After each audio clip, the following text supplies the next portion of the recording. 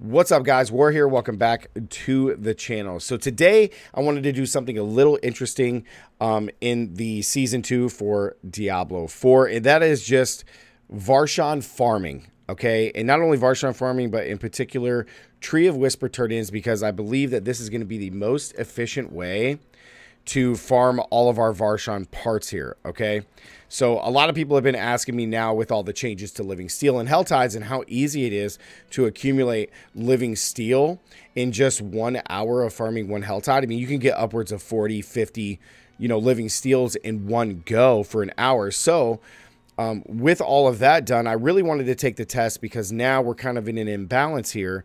And I just wanted to see how many Varshan parts I can farm in one hour with a particular strategy. So we got about five minutes here.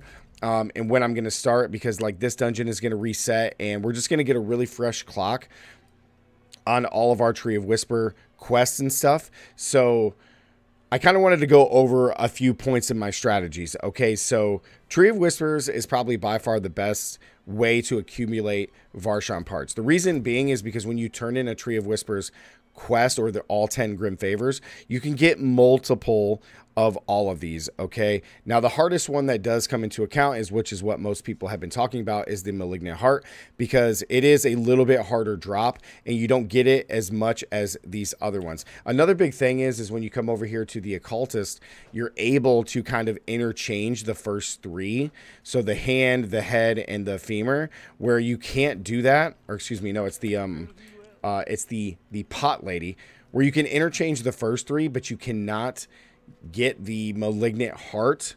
You can actually use the malignant heart to get the other ones, which is a bit odd, seeing how that the malignant heart is the rarer drop out of the three. So if you come over here to the resources and you do the summoning items, you can see that I can spend a malignant heart to guarantee one of these.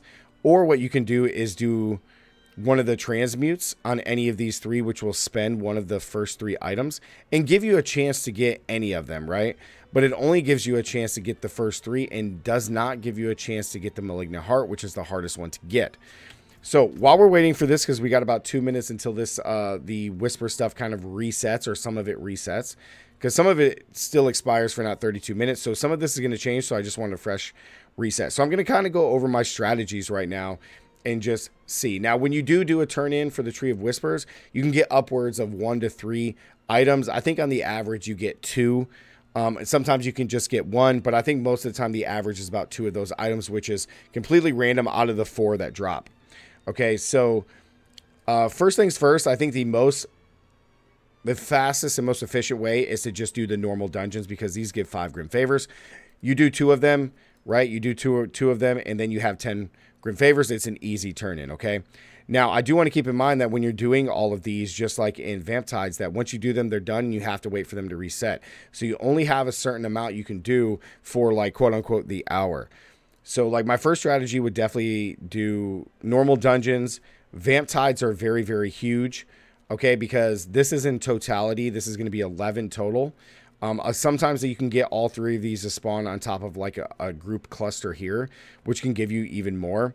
Now, I do also want to keep in mind that when you are doing dungeons, like in like a Helltide or something, it still counts towards Grim Favors. Um, so it's probably normal dungeons first into a Vamp Tide because you have an hour to do that. After that, a real, really good check is to do the PvP zone for the Seething uh, Abomination because that is five grim favors. The issue with this one is, is when you go in, he's not always there, so you kind of got to wait for him to spawn. So as far as time per hour, you may want to do this one last just because of the time constraint.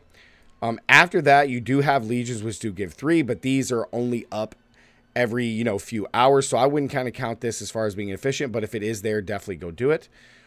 Um, the next thing after that is what I would suggest to do is to do clusters. So you see like this small little cluster of um, the lesser grim favors where one gives you three and the other two give you one, which is a total of five, which is nice. But if you have to go like from here and then I got to run up here, then run over here just to do them, it is going to slow you down significantly. So if you have a bunch of clusters here where you can kind of just like combine them as you're killing the monsters to do these turn-ins, that's really, really good. Another really good cluster is right here, which is very nice. I definitely wouldn't suggest doing the ones in the PvP zone. I would just look for the Seething uh, Abomination. But after that, you are good to go. So we have our fastest character here. So when you do do this strategy, I definitely would suggest doing whichever character is your fastest. Um, Sorc is mine because I have outstanding speed with Ghost Walkers on my amulet and boots, as well as having teleport so I can just get through dungeons incredibly fast because my boots have uh, four evade charges, and when you combine that with Metamorphose, you are absolutely flying. So it is 8.30. We are one minute behind the ball, so we are going to go test this now and just get it popping. So we got three minutes on this. This is three free Grim Favors, so it kind of sucks that we gotta kind of got to wait for that. Um, so I may just skip that one because I don't want to slow down because we're already a minute behind. So we're just going to go ahead and go knock this dungeon out and just get uh, blasting. Actually, you see the dungeon down here actually reset. So it's gone. I actually do not have access to that dungeon anymore. So we are just going to go fly and go do this.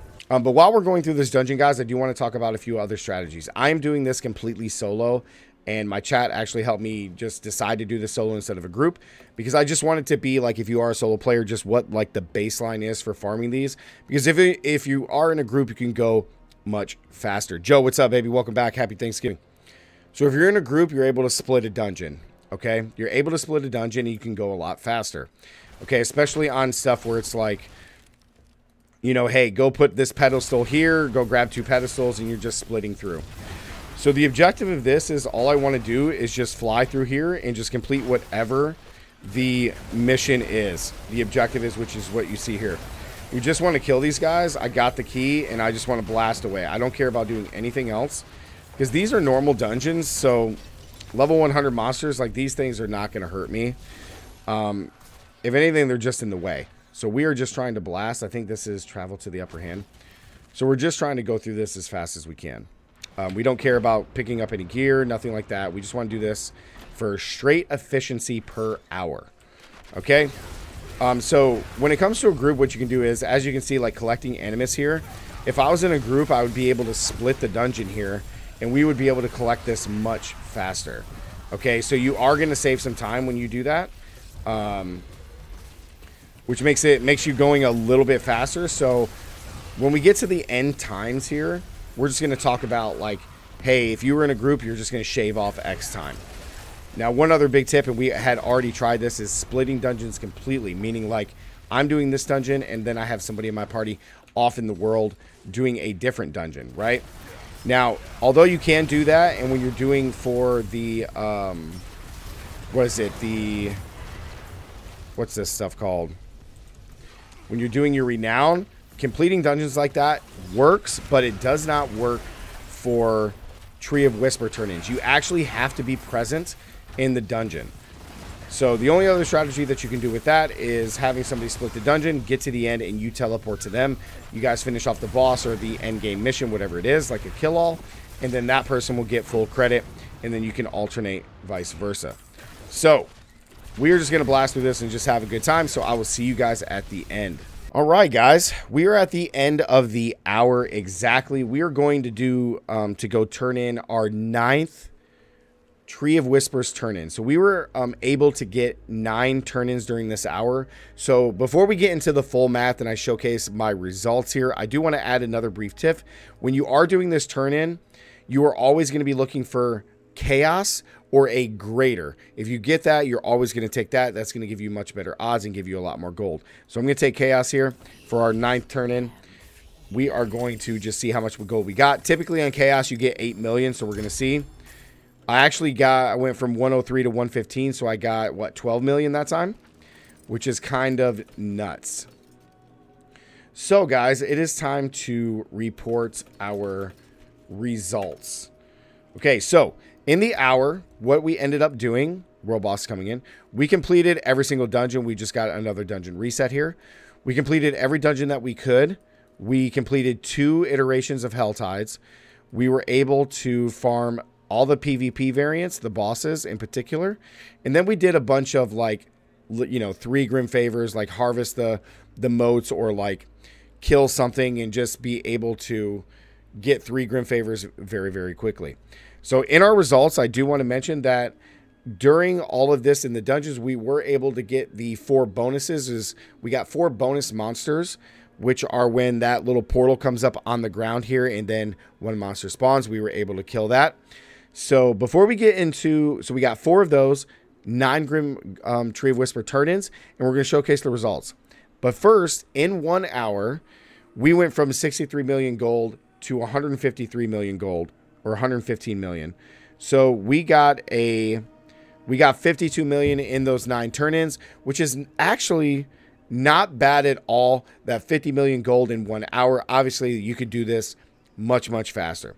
So let's get let's go ahead and sell. Let's go, um, and then we can talk about our results. So we got 50 million in gold, which was awesome because I also wanted to do this test because I was low on gold. I was actually down to my last 53 million, and I was just absolutely broke.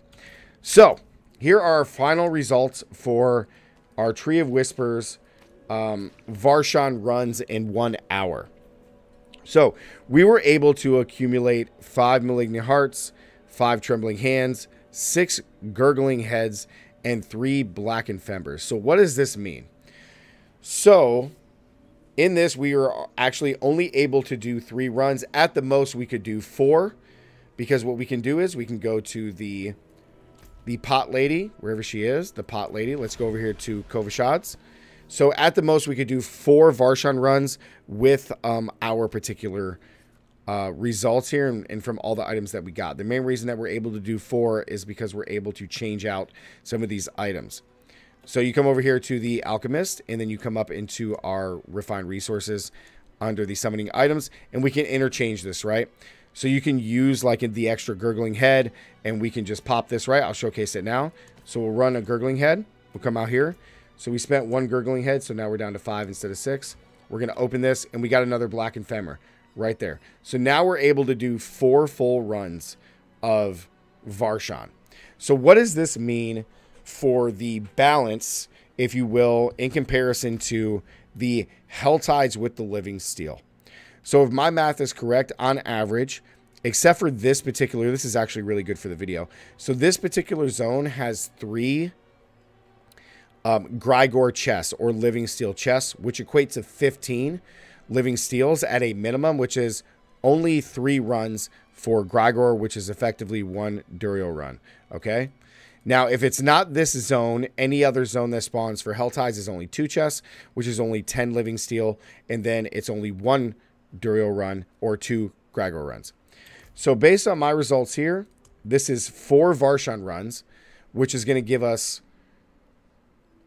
four of the eggs, which is two Duriel runs. So th- now these are these are like averages and roughly skewed numbers, guys, because on average, I think a normal person can farm more than just the 10 or 15 living steels. And then you could probably farm like this or more if you're like very, very fast. I think I'm a pretty fast player and we kind of went through. So before we get into like my final thoughts on this, I do want to mention another tip. So what you can do is, as an example, when you do complete a chest or a chest or a dungeon or anything like that, you can just like with the living steels, when you open up a living steel chest, then you switch characters and that same chest is available to be open. Again, these same dungeons and everything is able to be done with a alternate character. However, just any um, Grim Favors that you have already accumulated do not carry over. Those are separate. So you can, in fact, just swap characters and just speed it up, meaning like what I would suggest is if you had another character, you just farm normal dungeons as much as humanly possible because they give the most grim favors. Okay, so with that strategy out of the way, we got four Gar uh, Varshan runs, which is two Duriel runs, which is actually really, really nice. And this is equivalent to doing... This is a, this is actually slightly better than farming living steels because only on average you can get two to three uh, Grigoire runs, which is effectively one Duriel run. So in one hour, we farmed 50 million gold and we were able to accumulate four Varshan runs. This is actually really, really good. I'm actually very surprised in our results. I honestly thought with the changes to Living Steel that I wasn't going to be able to farm enough Varshan parts to kind of make make it balanced, right? Because with the changes to Living Steel, it really seemed like it was just heavily imbalanced and you just got so much more living steels. Now, I will tell you, on the high end, I was able to accumulate 40 plus living steels in one uh, Helltide run, which obviously, when you compare the hour, that is much more than these current results. However, I did not do this test by switching characters. So I don't know if that on the super, super high, like sweaty gamer, like I'm smashing my keyboard runs. I still think you might get more Living Steel, which would give you more Grigoire runs. But, I mean, this is really good results, guys. Just for one hour, I was doing it completely solo, so not in a team and not doing it as fast as I possibly could. So that way, for people who aren't even playing with a group, and they are like SSF or they're just doing this solo and they don't have anybody to play with, these are actually really, really good results. So, um, yeah, guys, I think it's actually pretty balanced. I think it's pretty balanced. I think if on the super sweaty high end, if you're switching characters multiple times um, for Living Steels and then you're switching characters multiple times for this, it's probably pretty close. Um, but I think you might get just slightly more Living Steels than you can all of these pieces. But I really am surprised with these results, and I really do like it. So, like the video, guys. Comment down below. Let me know what you guys think about this um, kind of strategy and just farming Varshan parts. Again, I really thought it was going to be super imbalanced, but I think it's pretty, pretty good. So, Blizzard, if you do see this, shout out to you guys. It seems okay. Um, we, we are going to do some further testing as far as like swapping characters and doing, you know, longer sessions instead of just one hour. But I wanted to kind of make it equivalent to a Helltide hour. So again, guys, everybody, let me know down in the comments what, what everybody thinks. And don't forget to subscribe. And as always, stay gaming and happy Thanksgiving. I hope you guys' bellies are full and you got in a really good nap. So catch you later. Peace.